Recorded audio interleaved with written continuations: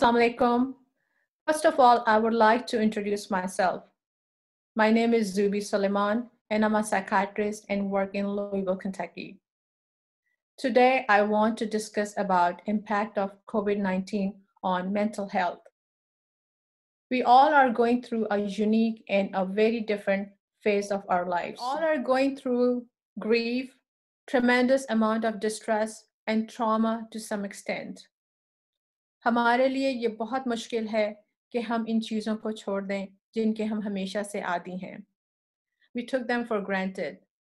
It includes losing our routine, our traditional ways of conducting life at work or at home. We are dealing with loss of social connection, losing our celebrations.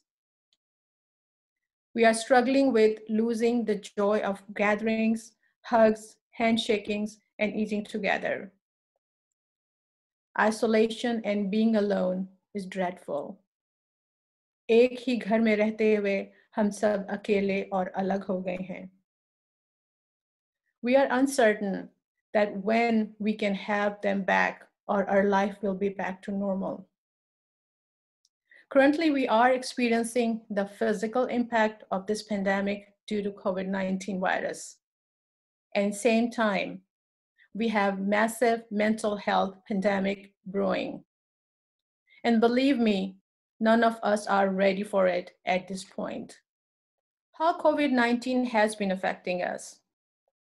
If we categorize the mental health impact in different groups, the one of the group is the people who already have existing mental health issues. They are experiencing exacerbation of their symptoms and their anxieties through the roof.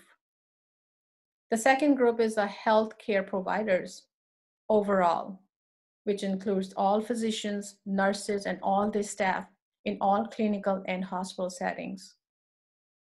The most critical group is the one who are first responders and the first line healthcare providers. The general community, which includes our children, uh, our older parents, grandparents, the working and the non-working parents, and the people with a lot of medical issues. So literally we are talking about its impact from one side of the world to the another. And everyone is getting affected in different ways. Anxiety and fear of uncertainty is just overwhelming.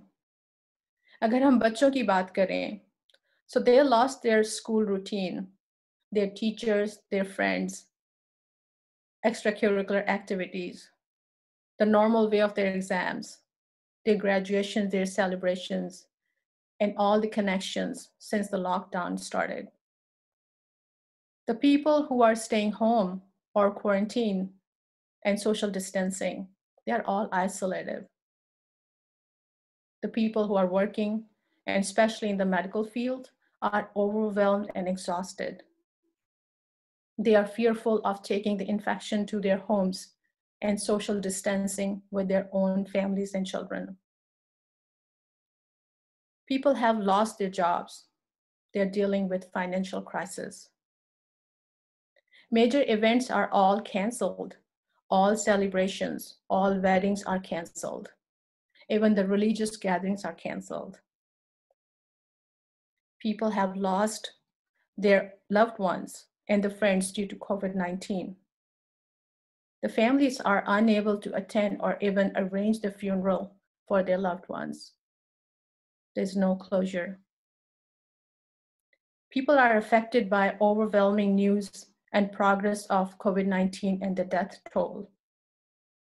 We all are watching the slow, unstoppable destruction of everything we have held so dear to us. This is the biggest fear and a threat to our lives. We cannot afford to be ambivalent about the trauma it is inflicting on the medical community and the community at large. The destruction is so painfully visible in the loss of human life and the human ways of life.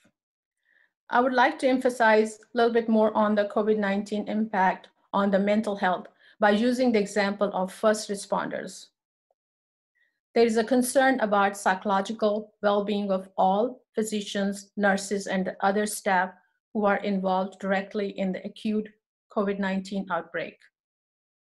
A significant proportion of healthcare workers treating the patients with the COVID-19 are experiencing symptoms of depression, anxiety, and insomnia.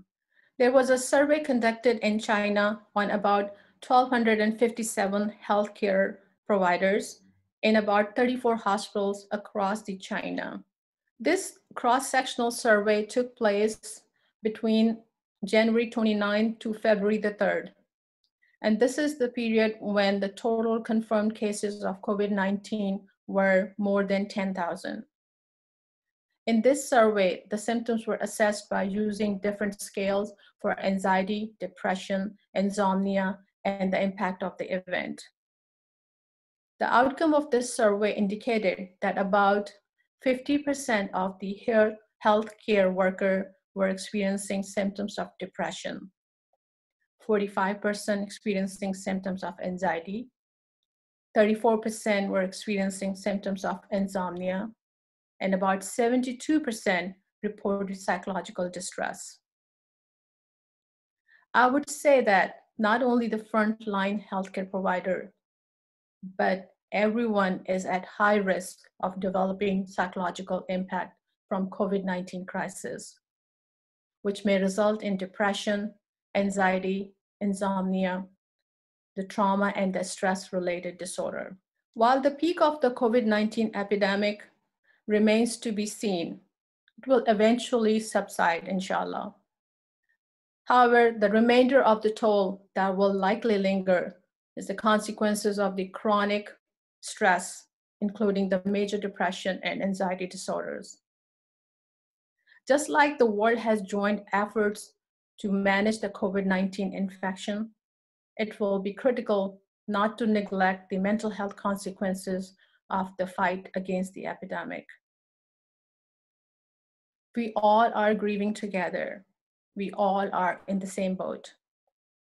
This virus is not discriminating towards any one particular it involved all of us.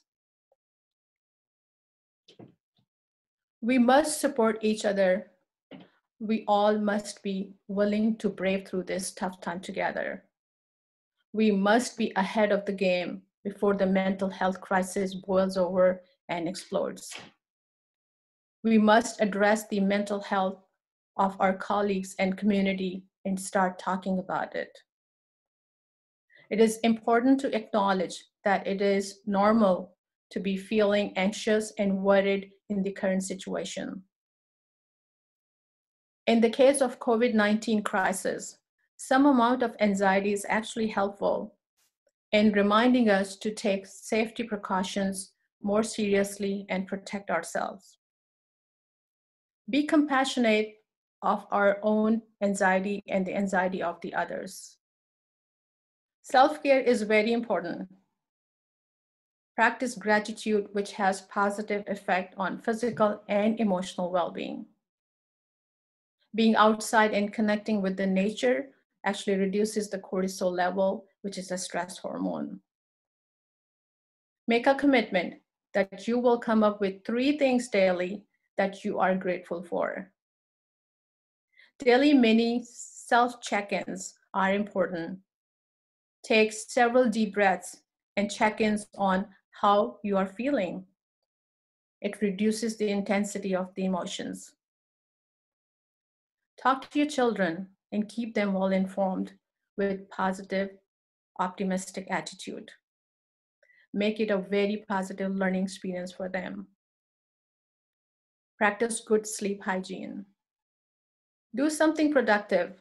For example, cleaning, organizing things, praying, reading, exercise, walking, etc. Keep on schedule. Schedule help us feel more in control.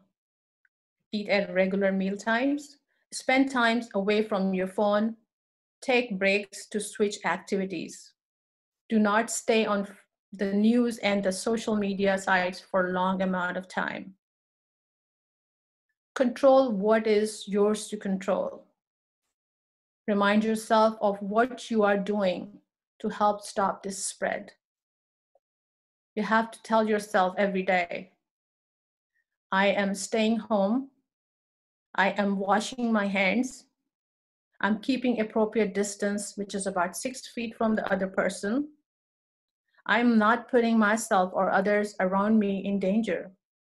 I don't have to spend time dwelling on what is not mine to control.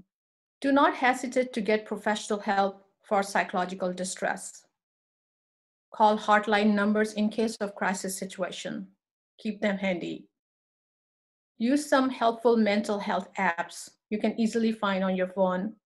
And these apps are um, Breathe to Relax, CBT Eye Coach, which is really good for the sleep problems, mindfulness, mood tools, virtual hope box, etc. Because we all are going through this difficult time together, I strongly believe that we will emerge as more grateful, more mindful, and appreciative, and as a better human. अपना बहुत ख्याल रखें. Thank you so much. Allah Hafiz.